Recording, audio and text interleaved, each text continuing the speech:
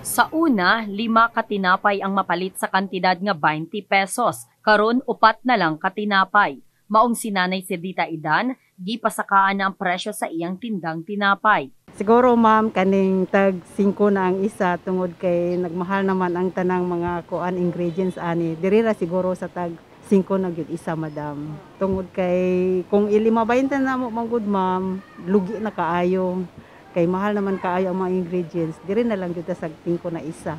Aron ma-monitor ang presyo sa mga basic commodities sa merkado, matag semana nagapahigay ng Department of Trade and Industry kon DTI Jensen og price monitoring. Gawas sa harina, do na usab-usbaw sa ubang palaliton sa merkado sama sa asukal, mantika ug uban pa. Okay, uh, number one, kining ato ang uh, canned sardines. And this is ang ap- ang explanation man ni ani kay ang inputs of production, specifically the raw materials ang tamban, naman gud siya minimal increase o ang iyahang raw materials, price sa raw materials mo na nga ang naga-increase ang iyang presyo but it's still under the suggested retail price. And uh, ang pipila ka produkto pod nga medyo nag-increase, very minimal, 15 cents lang per piece. Uh, kaning coffee, and we also have uh, noodles, no? instant noodles. Kung sa una anaa lang sa 36 pesos matag kilo sa third class nga harina, karon 40 pesos na. First class harina nga sa una 40 pesos, karon 50 na matag kilo. Asukal nga sa una 55 ang kilo, karon 70 pesos na. Mascovado nga sa una 60 pesos ang kilo, karon 85 pesos na. White sugar nga 90 pesos na ang kilo, all-purpose flour nga 60 pesos matag kilo, ug mantika nga anaa na karon sa 115 ang kilo. Bisan pa man sa pagtaas sa mga presyo sa palaliton, migawa sa social weather stations kun SWS survey nga sa 1,440 ka individual nga gi-interview kung nagatuo ba sila nga moasenso ang ekonomiya sa Pilipinas sa mosunod nga 12 ka bulan, 46% ang miingon nga moasenso pa ang ekonomiya.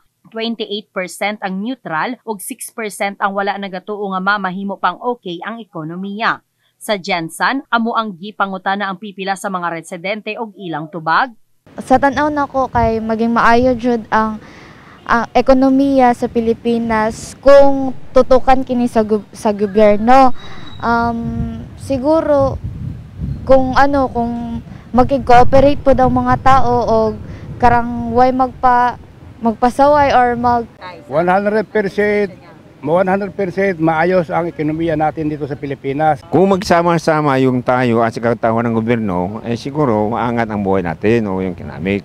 Pero kung hindi, yung iba, ganito ganyan, hindi magkaisa, doon siguro mag, ah, hindi, hindi magkuhan yung kinamik natin.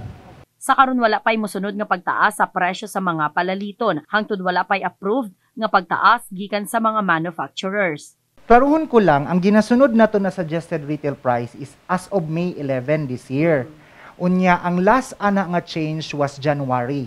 So, until nga walay approve nga increase, gikan sa atong mga manufacturers, kay usually magud ang proseso, proseso magud ana, ang atong manufacturer, mag-request na sila. For example, sa product under sa DTI, mag-request na sila sa DTI for an increase. But before na siya ginaalaw, kung ginaalaw man, natay verification nga ginahimo. For example, maingon sila, ah, nag-increase man gud ang raw material. So, gina-check na to na siya sa ilahang mga suppliers abroad or suppliers locally kung nag-increase ba jud ang raw material. Kay kung wala, ah, there is a tendency nga dili i-approve. Ron na Mohemolta, Brigada News.